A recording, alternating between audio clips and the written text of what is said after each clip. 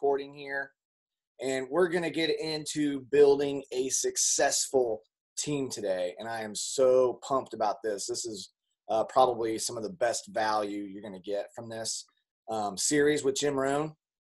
And so, hold on one second, and I will get this going for us.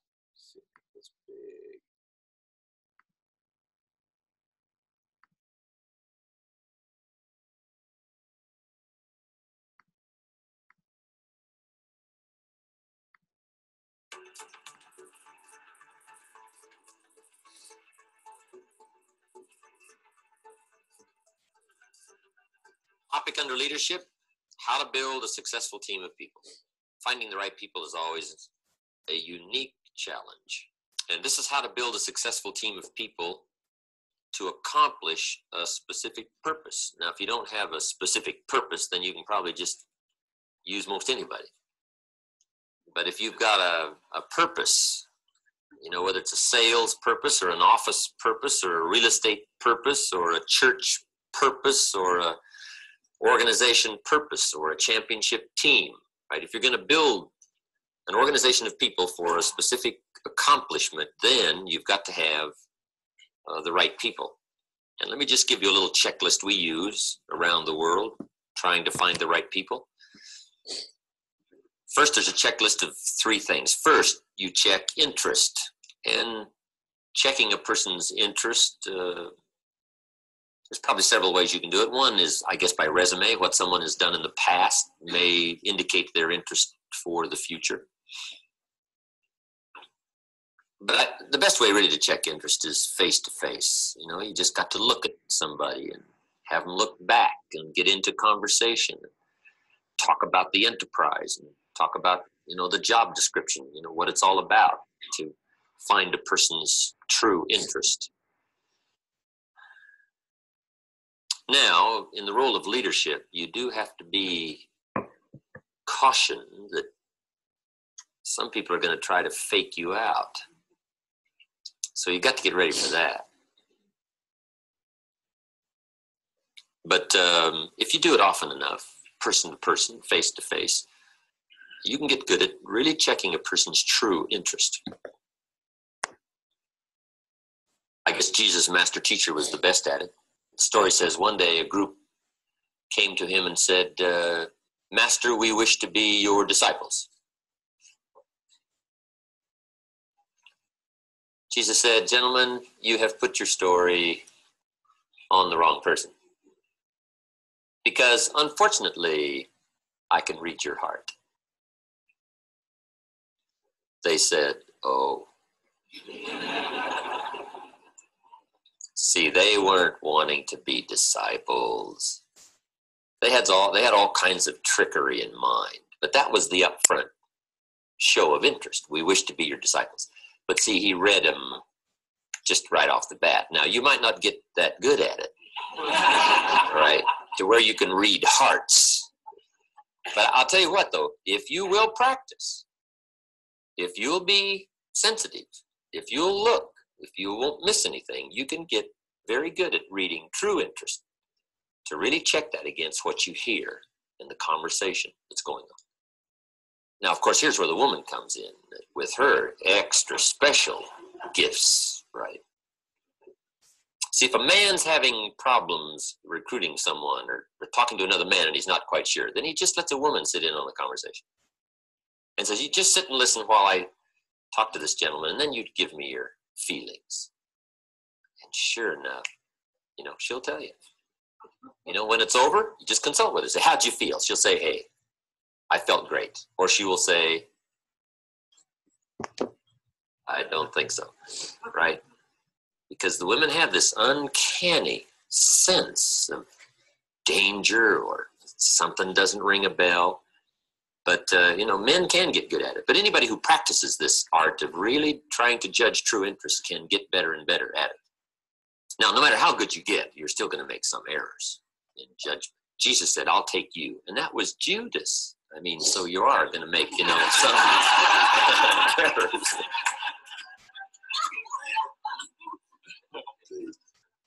so that helps me, right, to know when I make some errors.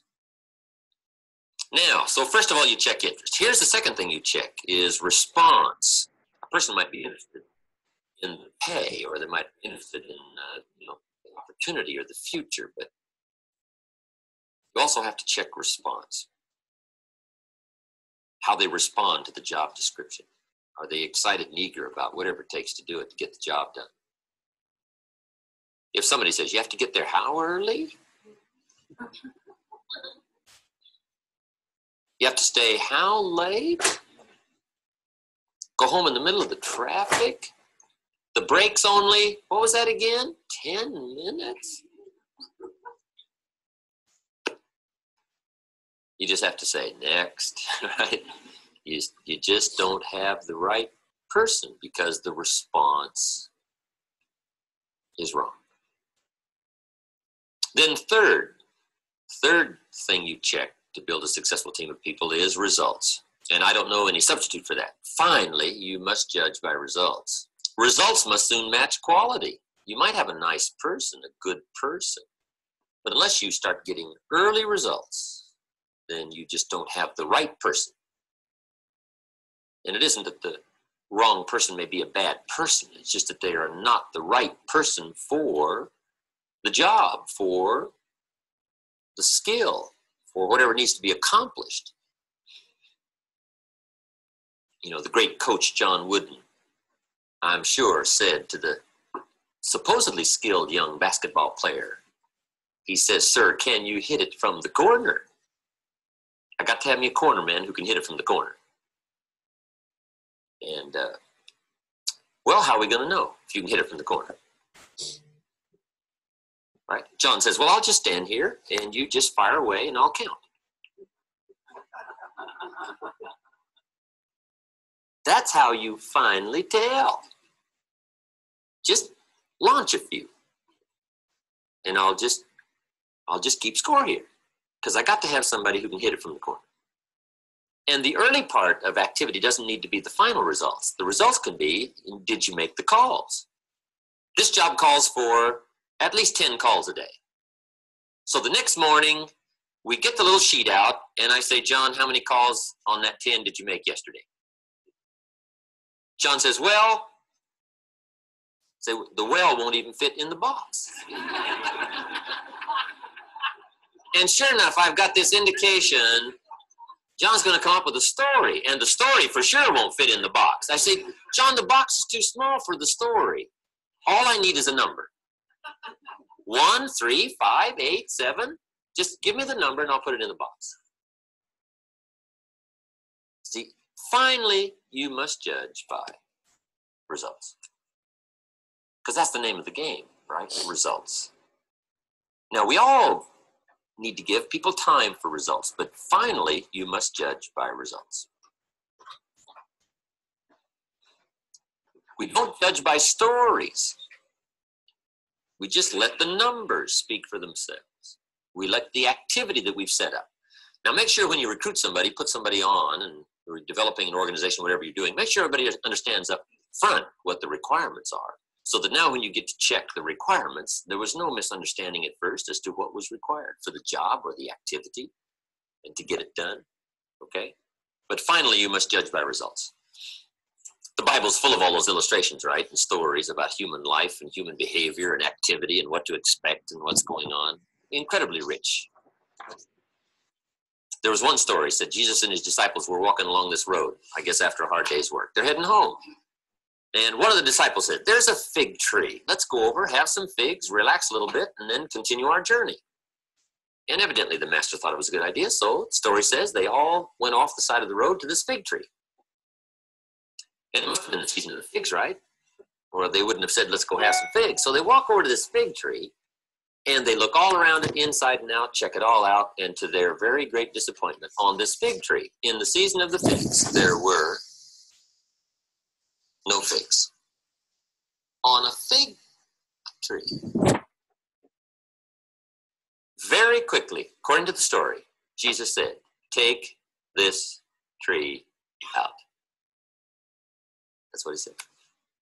A fig tree is supposed to have figs. Take this one out. now, something interesting happened though. something interesting happened.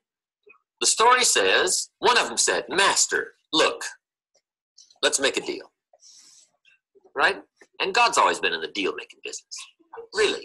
In reading the whole, the whole Bible. And sometimes it's kind of a game that's played.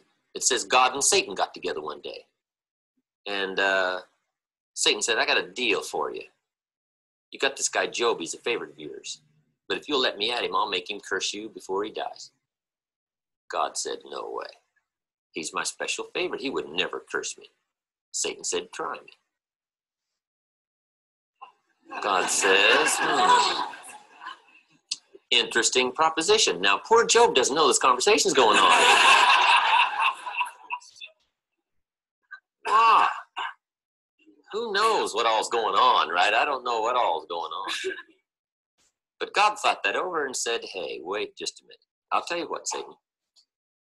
I'll let you at him, but the only thing you can't do, because it's true, I've protected him up until now. And Satan said, Yeah, you got a wall around him. I can't even get to him. But if you take the wall down, I guarantee he'll curse you. God said, No way. He said, Try me. God says, Well, I'll tell you what, I'll let you do anything but kill him. Satan said, That's all I need. they make this deal. And now, sure enough, Satan goes after Job, according to the story. Takes his family, takes all of his possessions, afflicts him with sickness and boils, ruins his reputation. and now he's sitting on an ash heap, scraping his sores. His wife says, Why don't you curse God and die? He said, Get away from me, woman. He said, The good Lord gave me all this, and whatever He gives, He can take away. God's up there smiling.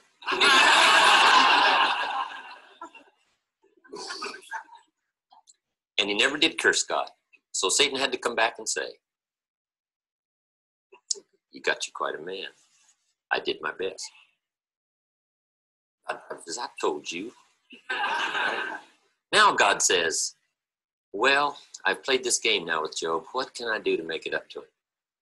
Because if you play games with your friends, you got to make it up to him. Right? So God says, Well, I got to think of something. So he says, I know what I'll do. I'll just multiply by seven whatever he had to begin with. Which is probably what you should do if you play those kind of games. multiply at least by seven. So who knows what all is going on? But uh, the Bible is rich in so many incredible stories.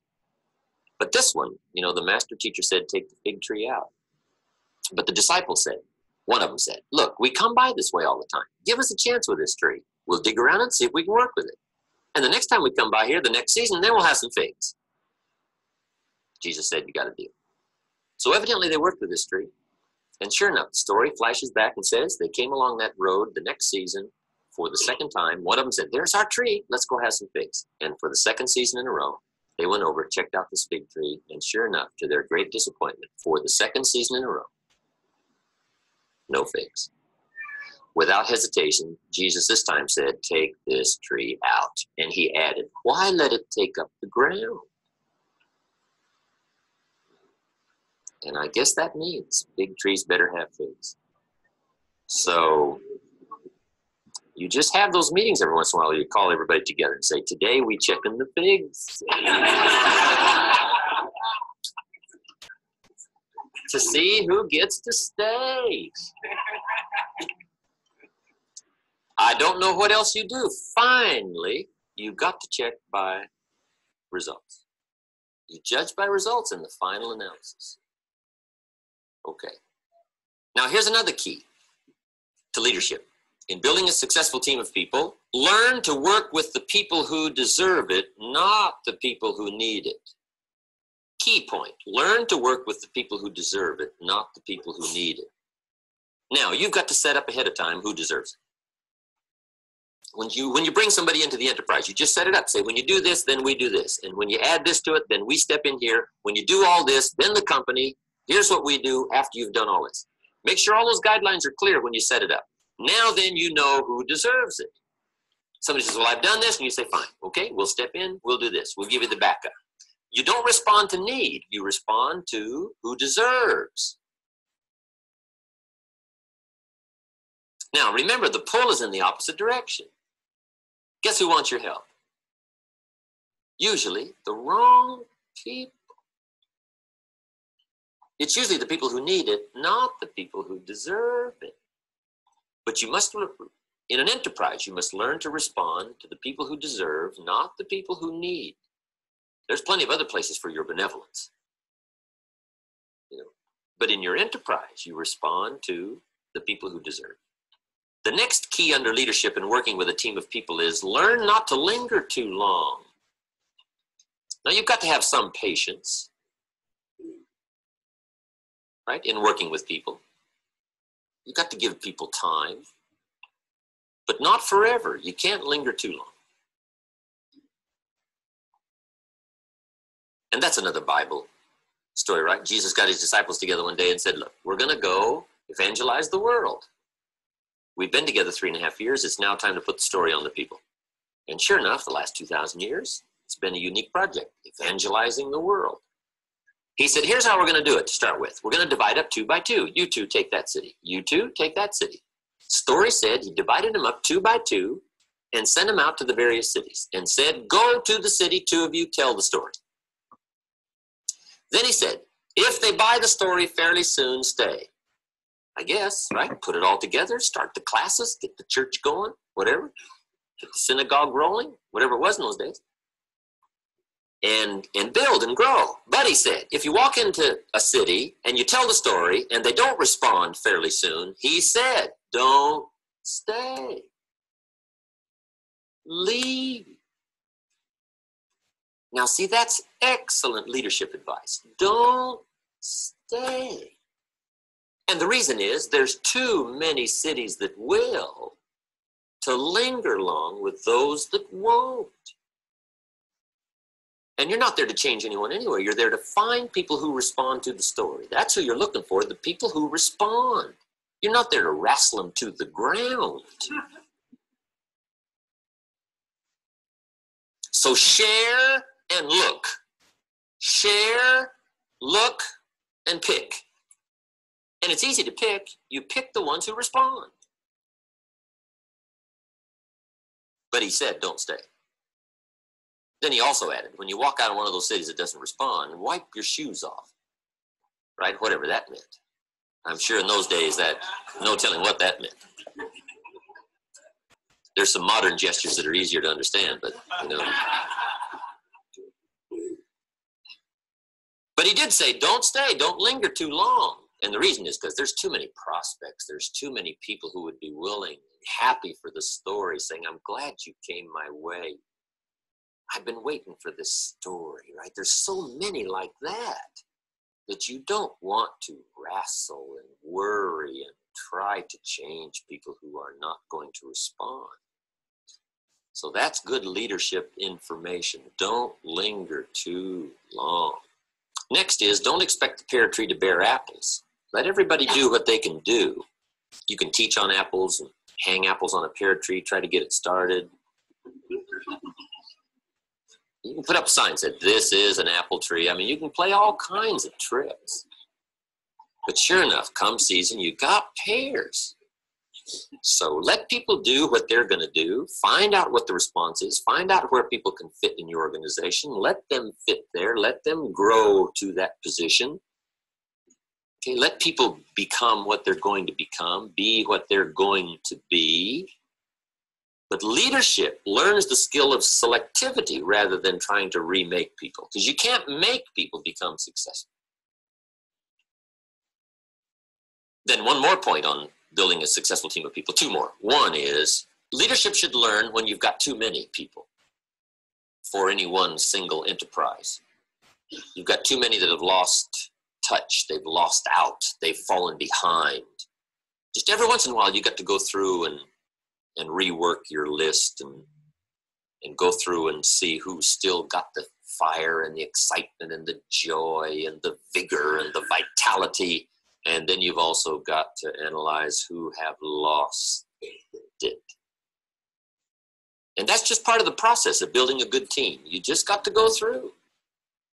You just got to take a fairly frequent look to see who you've got. Because sometimes you wind up with too many. And that's an Old Testament Bible story, right? Story of Gideon, the Jewish hero, military hero. Interesting story. Story says the angel of the Lord appeared unto Gideon and said, You've been chosen to raise an army and chase off the Midianites. And the Israelites were having problem with the Midianites. I guess they were in God's doghouse for a while, right?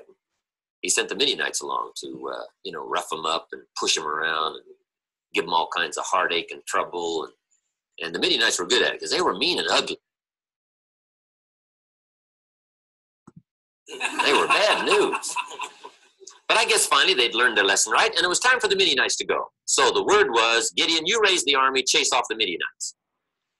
Gideon said, no problem. Promptly became one of the world's all time great recruiters. I don't know what all he did. Put up a little booth, join now, you know, whatever. Clever advertising. But anyway, he got the job done. Within a short period of time, Gideon raised an army of 32,000.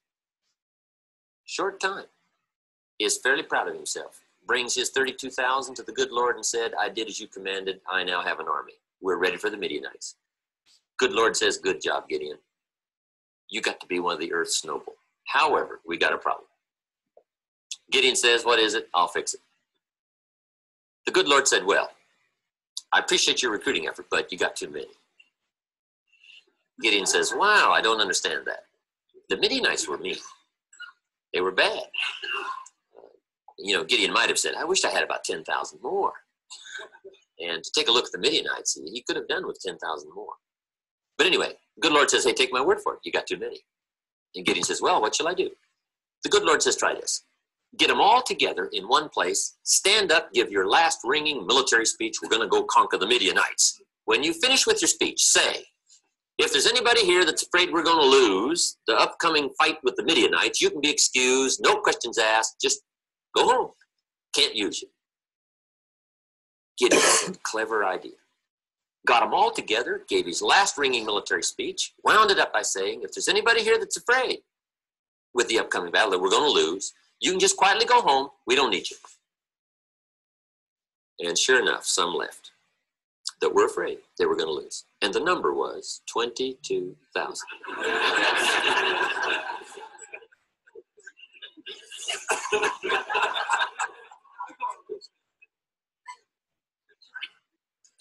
now, I don't I don't know if they wrote pink slips or what they did, right? But Gideon says, how true. If you've got 32,000 and 22,000 think you're going to lose, guess what?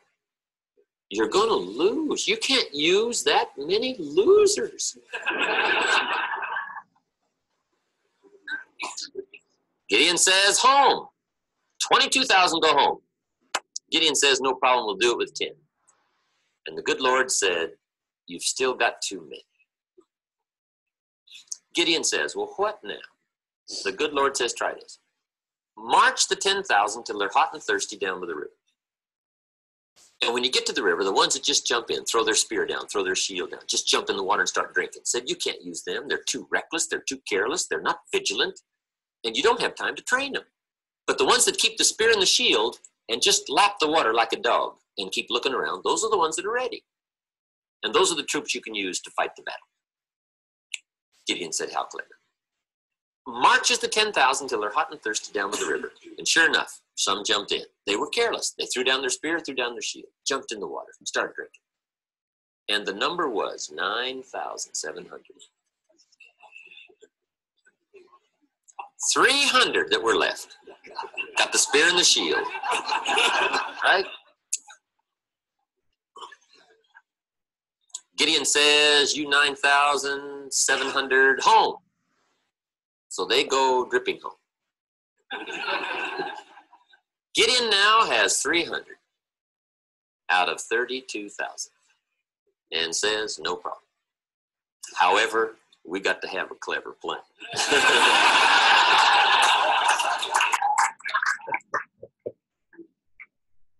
so he puts together this incredibly clever plan he says, What we will do, we'll use the element of surprise in the middle of the night. we will surround the camp and we'll space ourselves all around the camp of the Midianites.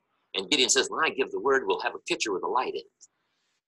And we'll break that, show the light, and we'll each have a trumpet. And we'll blast on the trumpets, and then we'll scream and yell like Comanches or like something.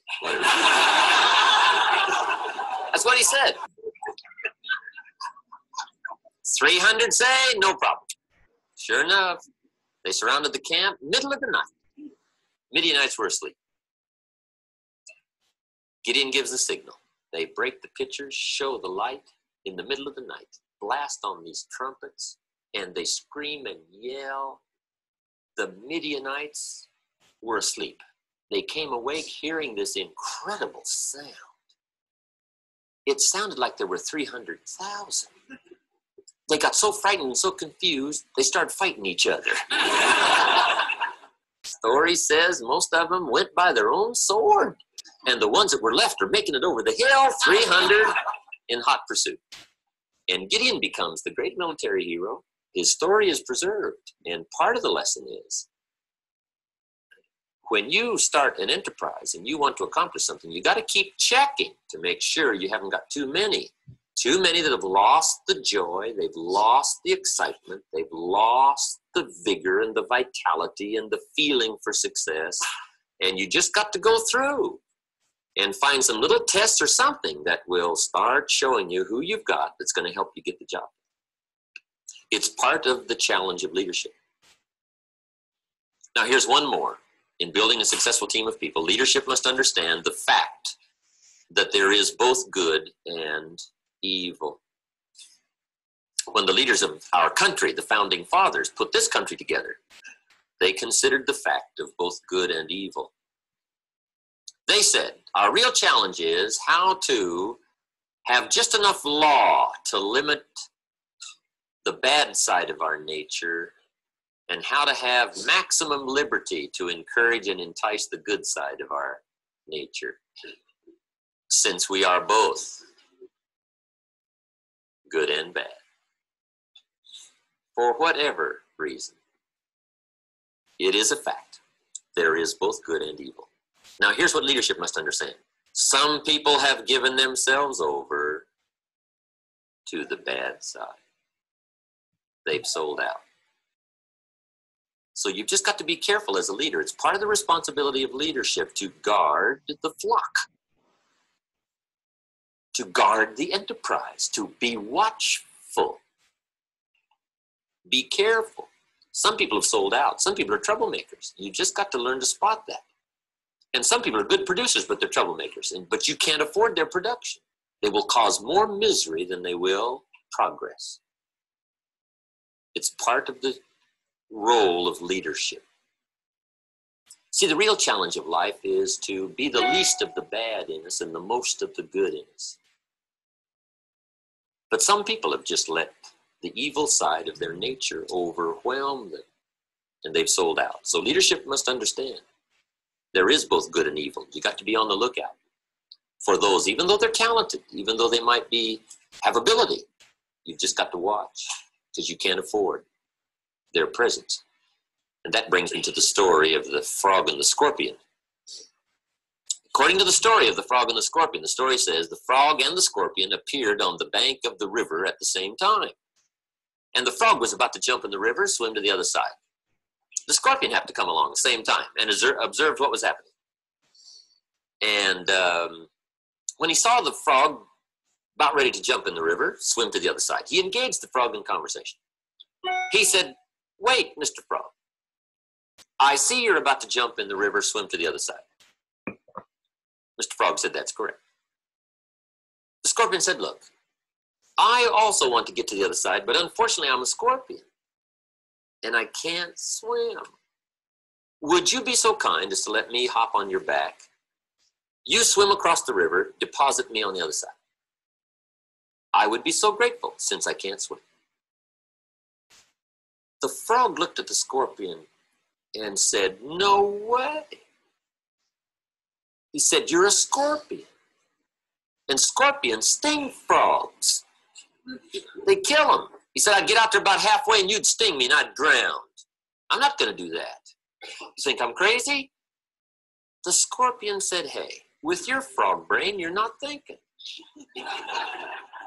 he said, Sure, I'm a scorpion, but if I was to sting you out there halfway, you would drown, but so would I. I can't swim. So I'm not going to do that. I want to get to the other side. Frog said, Sounds reasonable. Hop on. According to the story, the scorpion hops on the frog's back and the frog starts across the river. When he gets halfway, the scorpion stings the frog. They are now both in the water, about to go down for the third time. The frog cannot believe what has happened. He says in his dying gasp, Why did you do that? I'm about to drown, but so are you. Why would you do that? And the scorpion said, Because I am a scorpion. You must understand. Scorpions sting frogs. and as a wise leader, you must not take any chances. So, leadership should understand the story of the frog and the scorpion, and they must also understand the fact that there is both good and evil. Study these five subjects. First is be a student of possibility. Possibility. What's possible? The most incredible things are possible, and once you make the study, read the stories, look into it, you understand possibilities are everywhere. Dr. Schuller's got the group called Possibility Thinkers, right? I was a guest speaker for him one Sunday morning, a long time ago. The possibility thinkers. That's good. Be a possibility thinkers. Keep reading the stories. Keep studying all of the possibilities. And keep looking for new possibilities in your own enterprise, with your own life, what's going on. Okay. Number one, be a student of possibility. Number two, be a student of opportunity. Opportunity in business, opportunity in the changing times, opportunity everywhere. Make sure you just take a look at all the opportunities in your own enterprise. Sometimes you don't have to go looking far for opportunity, it's right there. I know over the last half a dozen years, a lot of real estate people sold real estate, but they never bought any. Don't miss the opportunities. A man now has one home and two cars. What he really should have is one car and two homes. Make sure you don't miss the opportunities because a lot of them are right there, right there. Don't pass up, but be a student of opportunity. Third, be a student of ability. Humans have the most incredible ability. And be a student of your own ability. No telling what you could learn if you tried. No telling what skill you could develop if you tried. No telling what you could accomplish in your own ability. I've discovered some incredibly unique people that had the ability, and it just wasn't obvious to begin with. I found Harold Dyke up in Canada about 25, 23, 24 years ago. And we met socially, but I, I took a look right away and I said, here's a unique young man. He was 28 years old. He'd been working for the railroad in Canada for 10 years, started when he was 18, right out of high school. He was now 28 years old, been there 10 years, and he was making $325 a month, something about like that. And he was getting a bit discouraged. He said, I looked four desks over from me, and there's a man, 45, making six, seven hundred dollars a month. And he said, You mean I'm going to go from now till age 45, move three desks, and make six, seven hundred a month? He said, I was just getting a little discouraged with my prospects there. Well, anyway, I came along and I met him, and I knew he had unusual ability. So I recruited him, hired him, he went to work for me. His first year with me, he made over $45,000 from a $325 clerk to 45,000 his first year. Incredible. Now he's a very successful businessman. Incredible, unique gentleman.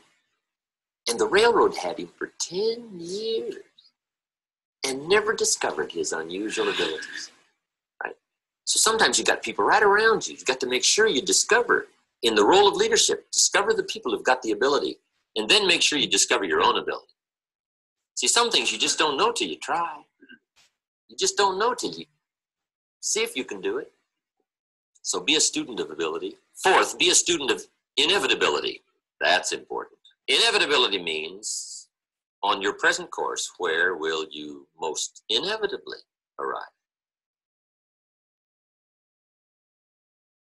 Learn all the inevitable stories. Sure enough, if you do it long enough. Sure enough, if you indulge long enough. Sure enough, if you neglect long enough. Sure enough, it's just predictable. It's inevitable. Inevitable. That's being 200 feet from Niagara Falls in a little boat with no motor and no oars. It's inevitable. In fact, it's over. it's too late. When you can hear the roar of the falls and you're 200 feet, little boat, no motor, no oars, see, it's too late. Somebody should have painted you that picture way upstream and said, here's where you don't want to find yourself. And if somebody's skillful enough to paint the roar of the falls, to paint the scene of panic and desperation, and we all need these inevitable scenes painted for us. And as a leader, you need to get good at painting them yourself for young people, older people, business people, in social affairs, whatever. Learn to paint the inevitable. Study the inevitable and learn to paint the inevitable so that you can help people with the pictures of where surely their neglect will take them, where surely their delay will take them, where surely their current habits will take them. You just paint the pictures, inevitable pictures. So be a student of inevitability. Here's the last one, and it's very important be a student of rationality. How to come to good conclusions from all that you've taken in. And that's a real challenge. Rationality. How should I proceed based on all I know? How shall I take all that I've gathered up and use it for the future? Making a rational conclusion based on input. Now, here's also the key to your future. Make sure the conclusions for your procedure are your own. Take input, yes, but not orders. Instructions, yes. Advice, yes. Information, yes. Somebody's opinion, yes. Orders, no. Make sure your procedure is the product of your own conclusion. That's how you grow. And for leadership, you must really become skillful at coming to good personal conclusions based on all the input. Don't be afraid of advice. Don't be afraid of opinions. Don't be afraid of input. Take it all, but then come to your own conclusions. Hello there. It's great to see you again. So, what conclusions did you come to while listening to Jim? Did any of those challenges that he talked about seem familiar to you? Maybe you've encountered most, if not all of them, in your role as a leader. Based on what you've just learned, how do you think you've handled things so far? Moving in normal negative pull, or have you been allowing the wrong percentage of people to pull you down away from your goals and achieving success? What's Some leaders in your life, or boss, or manager, coaches, or mentors. How do they deal with these everyday leadership would and learn what you took away from this massive amount of information Jim shared. Let me know how Jim's lessons will help alter your leadership style or what hints and suggestions you have for being an effective leader. So go ahead and share your thoughts and experiences with others in the comments section below. And I look forward to seeing you in our next session.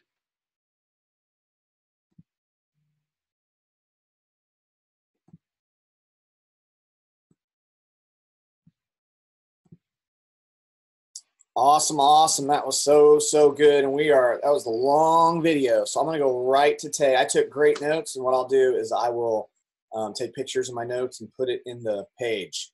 So I want to go over here though and hear the takeaways, the top few things that uh, uh, Mr. Young heard. So, how are you both doing this morning? I see Carrie's there too. Yeah, we're doing good, Chad. That was uh that was super awesome. We got both kids kind of got up early this morning, but that's fine. We handled it well. But uh the thing that I took away the most was uh, when he said at the beginning, he gave us the three things, the best way to be, build a team. Uh, check your interest, uh, check your response, and check the results. I thought that was awesome because that's so measurable. Like you can just go to your social media and you can just check uh, these three things off. Like say you post a picture on your social media, like you know who's interested by the people who likes it. Like you can go and check your last three photos and you got that same person that's lacking your, your like last three opportunity posts, then you know they're interested in opportunity. If you got that same person that's, you know, continually liking every picture that you post up about fat fighters, then you know like that person is interested in fat fighters. So I, I just thought that was awesome. Then check the response. Like you know if somebody is like hungry for change, then they're not gonna sit back and just continue to like what you're putting out. Like they're gonna respond to your action calls that you're putting out. So I think that's a great way to like know like who's serious about growth or changing their lives and just making some extra income and then check the results. Uh, this was probably my probably my favorite because uh, man i just think about so many people who reach out to you about one change and then you provide the resources and then you check back with that person and they're still in that same situation. Then you ask them hey did you do this what i told you to do? And they say no i haven't got around to that yet then it's like, okay, I, I know I'm not going to waste my time here because, like, I can't be more serious about your change than you are. So I thought that was just awesome. And I'll just, uh, one thing that I got from this, uh, we went to um, the Lincoln boot camp this weekend, and I just heard something that was, it was just so much. I got my little notebook. It was just so much great information, but some that just went along the lines with this, uh, then when he said results must match the quality, I just thought about we had it was a presidential diamond from uh, New Jersey. I can't remember her last name, but I think her first name is Kim. She said, "Fall in love with people's activity, activity, and not their potential." And then she said, "The E Suite doesn't lie." Mm-hmm. And I was like, "Dang," because I just thought for me, like sometimes, or most times, I get so caught up in just one that's so bad for a person that I start to do things that's hindering them. Like I started to really, because sometimes you can just want, you can be so in control of situation and want things to go the way that you want that you kind of lose focus and just uh, forget to take a step back and just realize like this person has to want this for themselves. Like if I continue to do things for them, then they're gonna always come back to me for that. So for me, it was like you know that that's so true. Like stop falling in love with what you think a person can be and fall in love with that person is actually doing. And I think me and Carrie just have so many conversations about people who's been in our business for years and you know they're still at that same level you know that they've been. And uh, uh, I think the thing that we had to come in terms with uh, I think Jim Rohn he talked about you know you got the 20 the 20 percent the 40 percent the six percent then you got the, the 100 percent.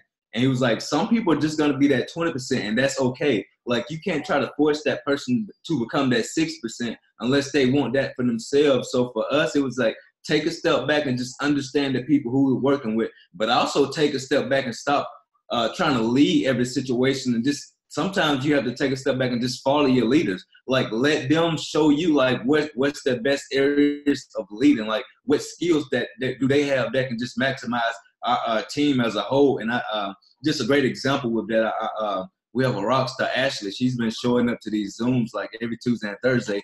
And you know, you look at her business, like you can see it paying off. But I think the best thing about that with me and Carrie, uh, uh, probably a couple months ago when we was pushing for that leadership retreat, we had the opportunity like we could have really forced our way and just do what we was doing in the past, we just basically do everything ourselves. And then we really had to take a step back and like, like you, we don't have to do this this time. We built the ambassador before, like you built the triple diamond twice. Like you know how you did it in the past, and you know the results that you've gotten. So if you want those same results, then do it that same way. So we decided we didn't want those same results. We wanted leaders who wanted this more for themselves than we wanted it. So what we did was just take a step back and just let it rise. And Carrie will always say like she's a yellow personality. She's a yellow personality. She she just loved people so much. And the thing that we figured out when Carrie took a step back and she let her step into and start taking ownership of her business, like Carol's like, dang, this girl is red.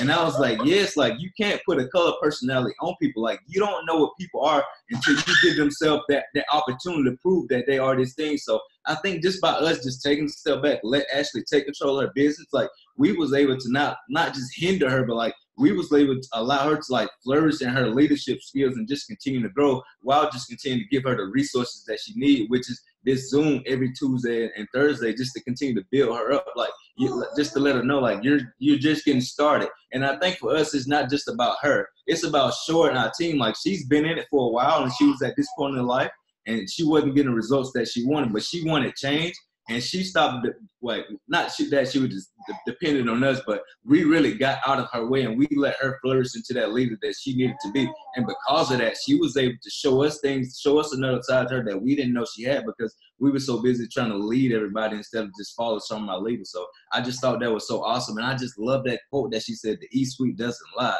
Like you have to stop waiting. Like he said don't linger too long you have to stop waiting on your best friend to wake up and decide that she wants this business. like your best friend is just a party girl who just want to have a lot of friends. Like you have to leave her alone because ultimately, like she's hindering you for where you want to go, and that's not a bad thing. It's just that some people are just gonna be 20, and that's just how it is. Like I'll just go back to what uh, Jim Rohn said. He said that that's just how it is. Like you just have to understand that, and you have to move on, and you just have to continue to seek out those people who are hundreds. And the only way to do that is by continuing to build your business, continue to reach out to people, continue to ask people, continue to post on social media and reach out to those people who just continue to show interest in that. So uh, I, I, I, hope that was helpful for you guys. And I just love what uh, Kim said. I had to give a credit this first time. Next time I say this, I won't give a credit.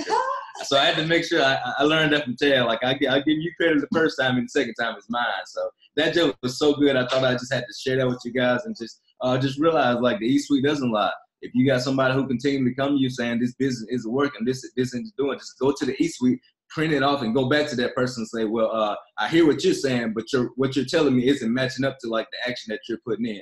And it's not that you're like uh, down talking that person, it's that you're holding that person accountable. You're doing something for that person that probably nobody else is doing for them, which is being honest with them and just really calling them out on their BS. So I think if we can just continue to just really love each other enough to call each other out and just help each other rise, and I think ultimately our business will go exactly where we want it to go. So good, man. You, you made me think of one thing I'll share before we jump off here because we're about 45 minutes right now. But um, I, I was taught one time that people are like apples. So, and you've got red apples, green apples, and rotten apples. So, red apples are ready to go. You know, they're red, they're ripe, they're they're at the right time at the right place. Uh, green apples need time, right? So sometimes I think we we uh, strong arm the green apples to join in the business and they're just not ready yet when we could just wait until they're ready and they come into the business. And sometimes after a while when people are in the business they flip that switch. Like we have people who are in a year two years they flip the switch all of a sudden one day they go from being a green apple to a red apple they start rocking it out. And then of course you have the rotten apples and there's not a whole lot you can do with rotten apples right? You can't you can't eat them they're not going to ever turn red. Um, and then there's some of the people i think jim rohn was talking about the, the wolves in sheep's clothing so I love the red apples, the green apples, and the rotten apples. And, and the E Suite doesn't lie. I know Jim Rohn said something about fall in love with people's activity, not their potential, mm-hmm. because the graveyards of the world are filled with unused potential. And so that's great. We all have so much potential, but are we going to put in the work? You know, we're always, and all of you should be asking yourself, are you teachable? Are you willing to work? And do you have ambition?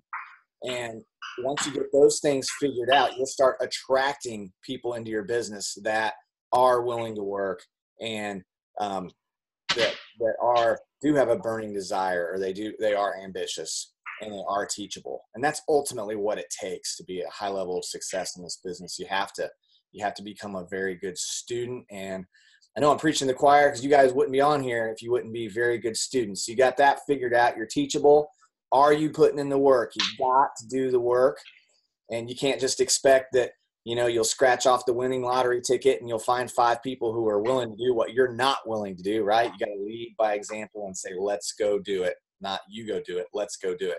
And so, willing to work, teachable. You got to have those ambitious goals. How Jim started this whole thing off is if you're going to put together a successful winning team, you've got to know where you're headed so that you know what it's going to take to get there. So whether that's ruby for you, diamond for you, double ambassador, you know, whatever it is, uh, it can be it can be done. I personally love the story of Gideon and how he started with 32,000 because sometimes I think we feel like we need this big massive army, but there's ambassador diamonds in this company that just have very small volume making way more money than other people who have huge volume. So volume and people has very little to do with it. what has more to do with it is the quality of the people and the workers that you have in your, inside your team. So uh, don't worry so much about quantity, uh, worry about quality and make sure that you're providing an atmosphere where people can join your team and they can thrive under your leadership and just continue to grow yourself. And I'll see, we're going to get into uh, the next module on Thursday, which is lifestyle. So I know it's Thanksgiving, but y'all, none of you guys are going to eat Thanksgiving before like 8:30 anyway. So I'll be right here. I'll be in Illinois, but I'll be on here from Illinois. So I'll see you then. Everybody have a, a great few days, and we'll talk to you on, on Thursday. Have a good one.